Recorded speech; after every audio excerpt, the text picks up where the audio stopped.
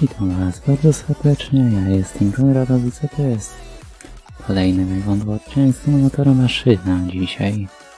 Jednak pojazdem zwanym Impulsem.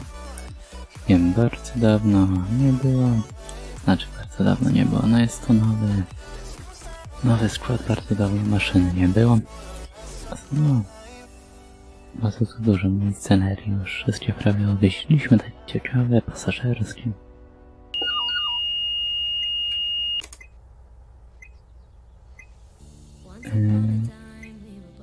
Ja mam pytanie, czy to nie za głośno? Jeszcze jedna rzecz. Może mógłbym trochę przyciszyć o symulator? Razem z muzyką będzie lepiej.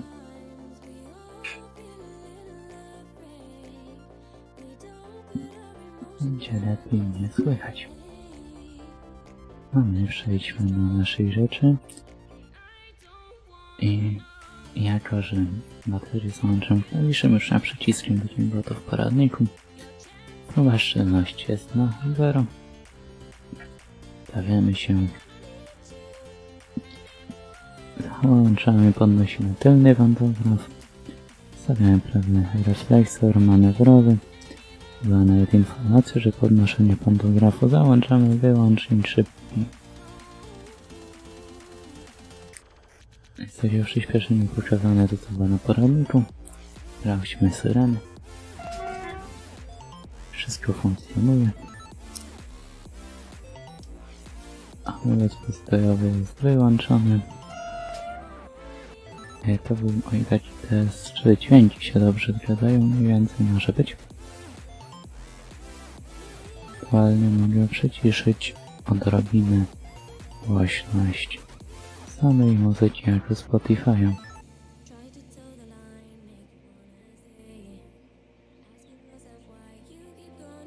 Chociaż nie, bo to i tak już tylko 3%. Nie przesadzajmy z tym przyciszaniem, niech już pozostanie jak jest. I hamulec bezpieczeństwa. Tak jak w poradniku 4,5 bar w przewodzie głównym można puścić on się do 5 na pełni.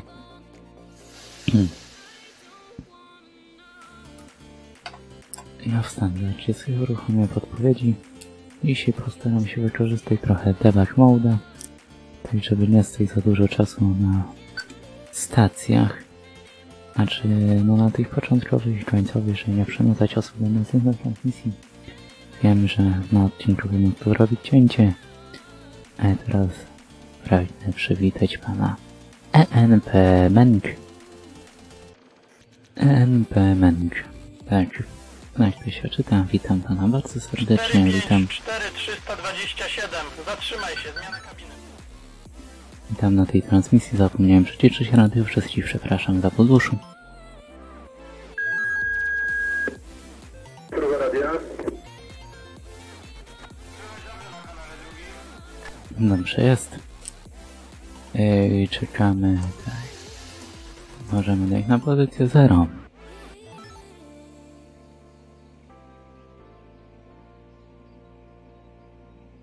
Yy, dobrze.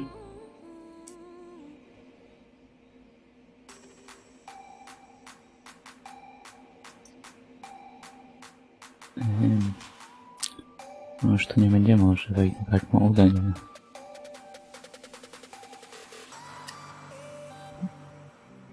To już można chwilę poczekać. Nawet można i kawałek sobie podjechać bez problemu. Tak wygląda jazda impulsa.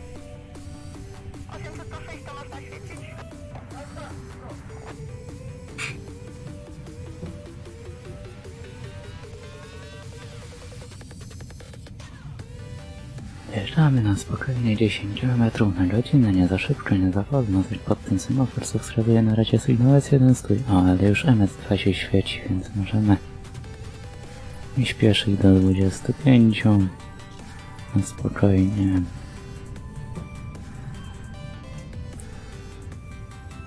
Pan powie pan NP Menk. Ciekawego na tej transmisji na żywo może pan dzisiaj doda jakiś ciekawy temat na transmisję.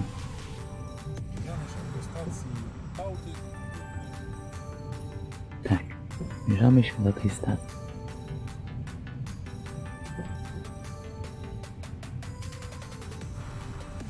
Jak to ci impuls nie działał? Co, że się wczytać nie chciał, czy że nie mógł jechać? Jak nie mógł jechać, to polecam sobie zobaczyć poradnik mnie na kanale, który prezentuje jak prawidłowo go uruchomić, jak prawidłowo się nim posługiwać.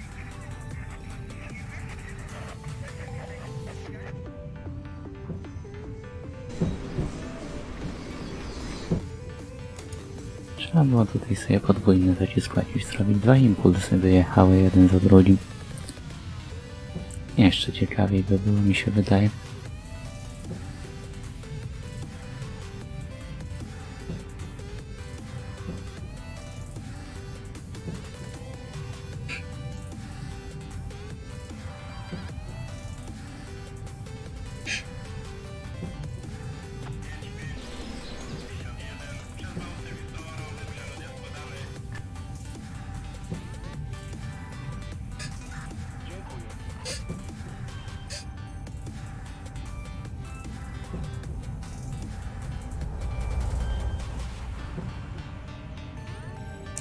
Zapomniałem, że przecież ten... Ja tu mówię, mówię, czekam na odpowiedź na czacie, a tu... Zapomniałem, że mam ustawione normalne opóźnienie, więc tak... No, mniej więcej 30 sekund niestety jest opóźnienia.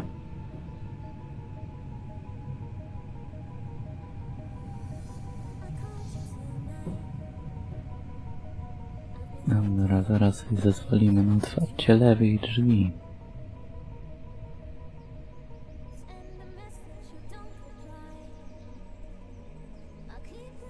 O to chodzi. Wiem, wiem, wiem, wiem o co chodzi. Stacja Bałtyk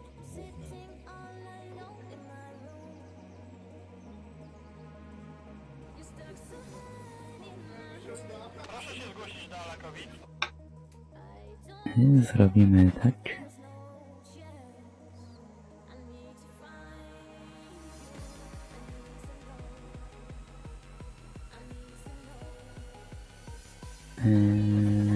Eee, poczekajcie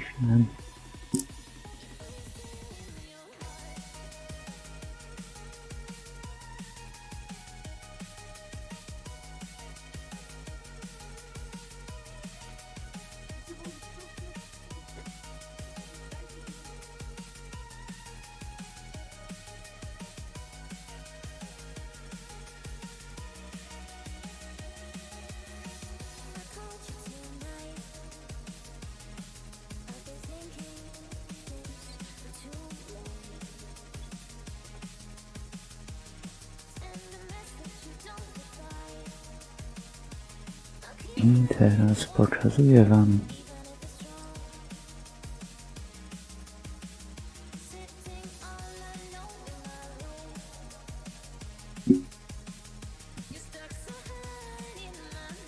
Nie, nie pokazuję wam, bo się nie chcę pokazywać. To jest. O. Teraz macie na coś takiego jak Rainsted. E, Jeśli chodzi o rozwiązywanie problemów. I prawdopodobnie panu chodzi o to, że tu się nie znajduje ten skład.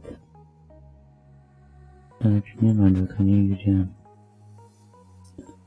A Bałtyku tutaj też go nie ma. I teraz tak.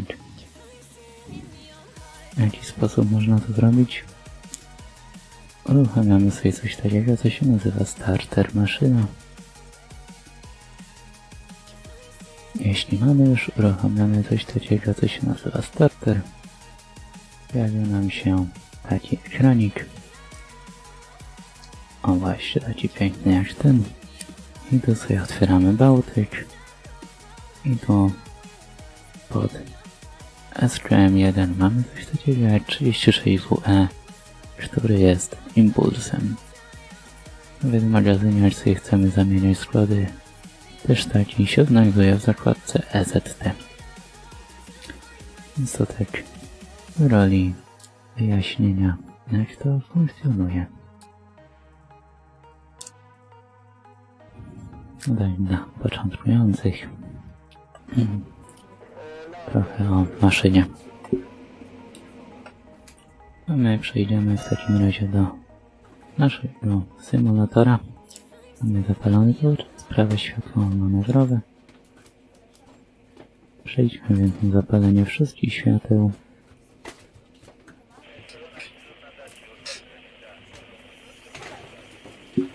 I sprawdźmy sobie Game Debug Mode.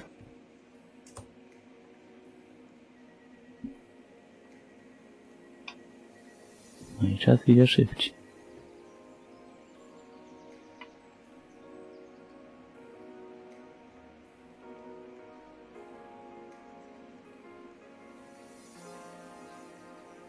Tak, 9 klatek na sekundę właśnie.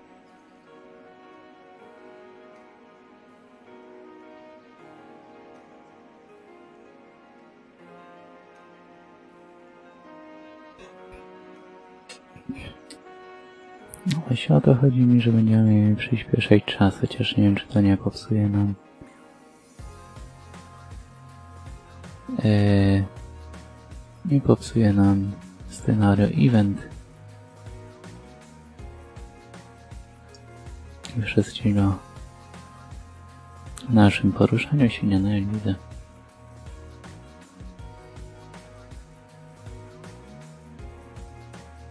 Albo się świeci. Z tego co pamiętam na pierwszej stacji Bałtyk Główny nie otrzymujemy sygnału odjazdu od kierownika. Nie mam zielonego pojęcia dlaczego. Więc ruszamy i czytamy komentarz. Impuls to się psuło. Jeszcze Słucham 4523. Chwilę poczekacie na wiatr. Jeszcze chcesz sobie coś porobić w Reinstedzie i tak dalej. Możesz wejść w posiadany tabor i sobie zrobić sprawdź posiadany tabor. A jeżeli to już nie pomoże, to nie mam zielonego pojęcia co trzeba robić w takiej sytuacji, ale jak sobie klikniesz sprawdź posiadany tabor, to powinno się od razu naprawić. Najmniej z tego co ja pamiętam jak. Będzie jeszcze korzystałem z Reinsteda kiedyś. To oczywiście był jeszcze jedyny starter do maszyny.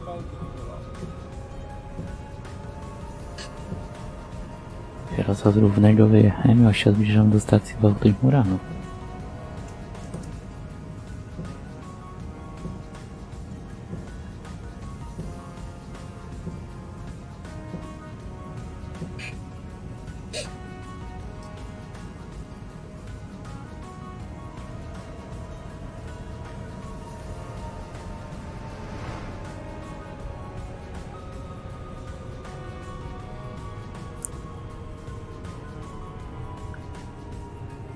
Impuls ma naprawdę bardzo dobre hamulce, tyle co wam powiem.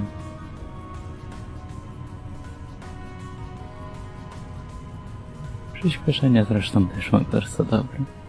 Bo w chwilę się potrafi do 50 rozpędzić. Zresztą zobaczycie za niedługo. Nawet nie dałem pełnej mocy. Bo nie lubię po prostu dawać pełnej mocy tak w pociągach od razu.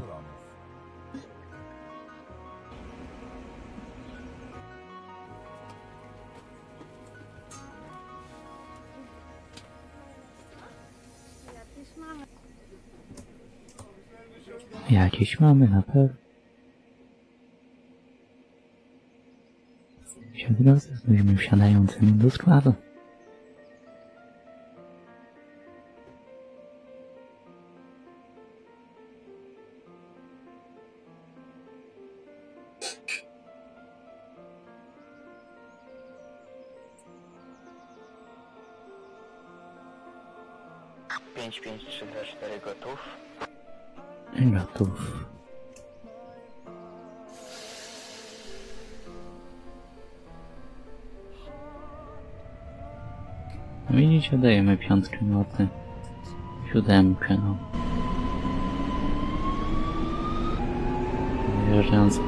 osiągnąłem prędkość 50 km na godzinę. Niesamowite.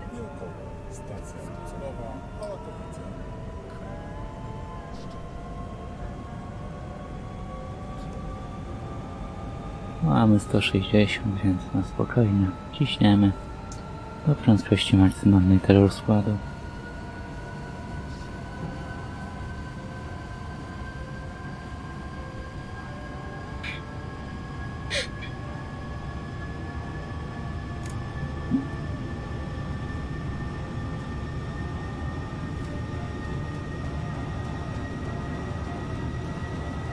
140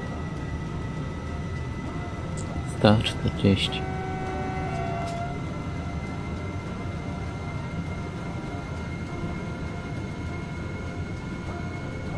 Gdzieś gdy widziałem ograniczenie do 120 tak. Więc trzeba będzie hamować. No, ale 160 jedziemy. Jak widać na dołączanym obrazku.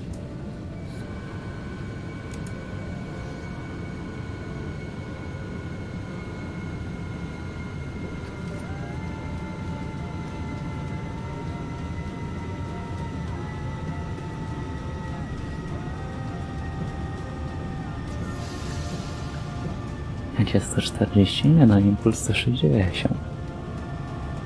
140, nie ma chyba takich prędkości maksymalnych pociągu, jeszcze nie słyszałem bynajmniej. Wiem, że E EP08 ma prędkość maksymalną 140, ale jeśli chodzi o EZ, ED160 i ED130 z Intercity mają po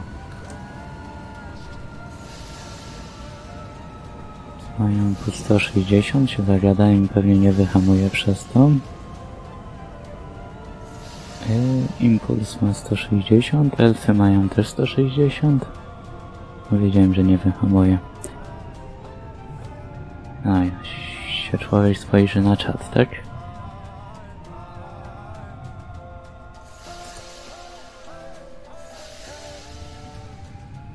Tego nie ma jakby co. Tego nie widzicie.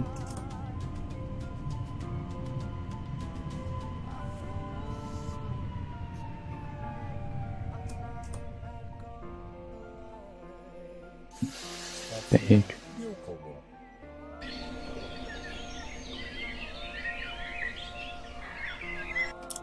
Tego cofania nie było spoko.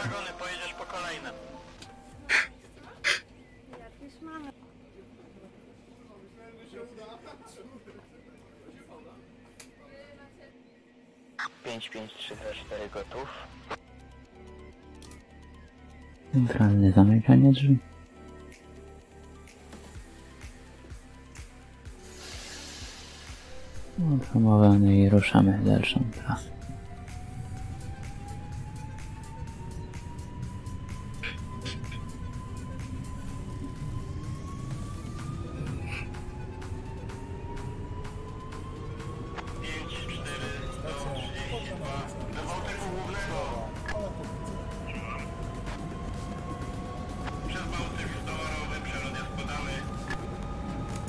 Przez Bałtyk towarowy, przerod jest Dobrze, my jesteśmy w Chocionowicach przy dostępna stacja przed stacją końcową Alakowic.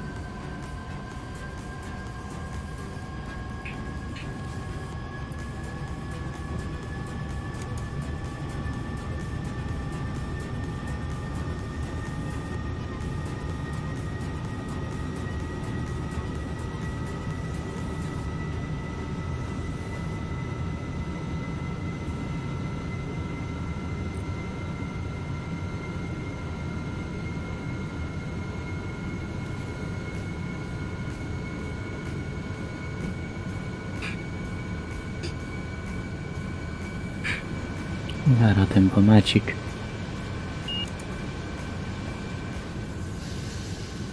O. o i co dodali w patchu? Literkę tempomatu. Po pojedynczy. Na tych wiecie informacjach. No to w sumie ostatnie donacje zakrywają, już których nie ma, no ale... W razie ostatnich nie ma, kiedyś będą, myślę.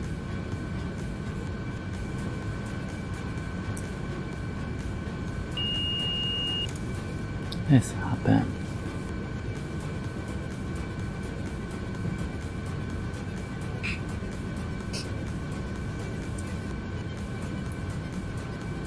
Zbierzamy się do stacji, więc rozpocznijmy hamowanie.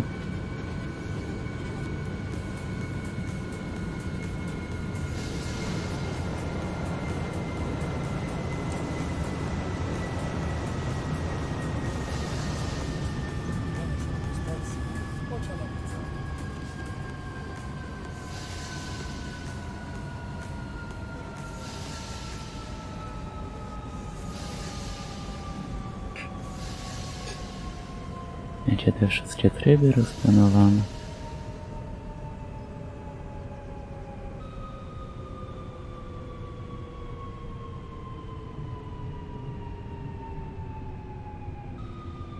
Tamtej stacji, którą przeczytaliśmy, jakby to to nie było.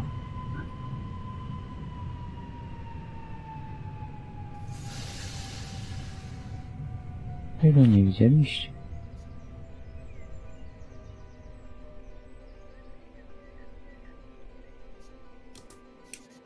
Stacja Chocianowice. Skąd wiem, kiedy hamować? I przywołując tutaj zasady kolejowe, informacje, a mianowicie informacje o wskaźnikach znajdujących się 5534 gotów. przy torowisku koło szyny. Tak samo jak to na przykład widzimy wskaźnik W4 końca peronu. Jest taki wskaźnik bodajże, jak się nie mylę, W14. Takie białe pole z takimi czarnymi paskami wokół kosie. Ja on informuje o tym, że się zbliżamy do stacji i maszynista powinien rozpocząć hamowanie.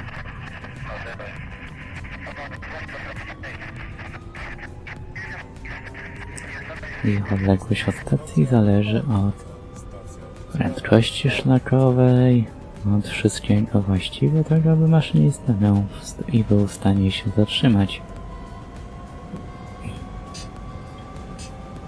Samo jak to widzieliśmy wskaźnik informujący o tym, że zbliżamy się do ograniczenia prędkości do 120 km na godzinę.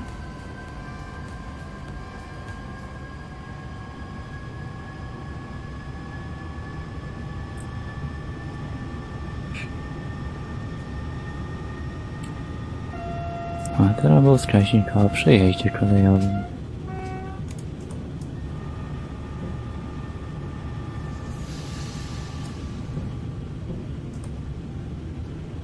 się przestraszyłem, że to jest jeden się świeci.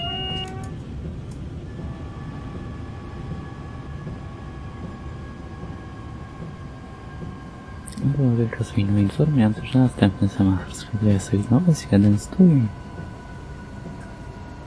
Maszynista powinien na tyle dostosować prędkość, aby zdążyć wyhamować do następnego semafora. Tak to też jest w przepisach kolejowych napisane.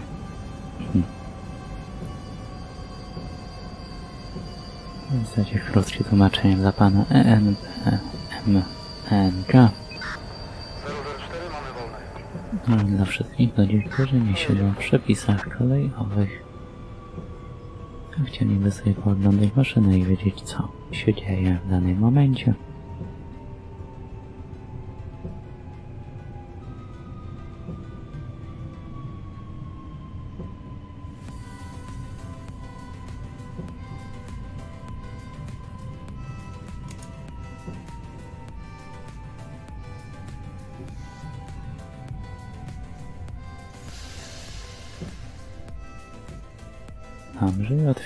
Sobie, zezwalamy na otwarcie drzwi lewych. Podnosimy przedni pantograf. I wykonujemy zmianę kabiny.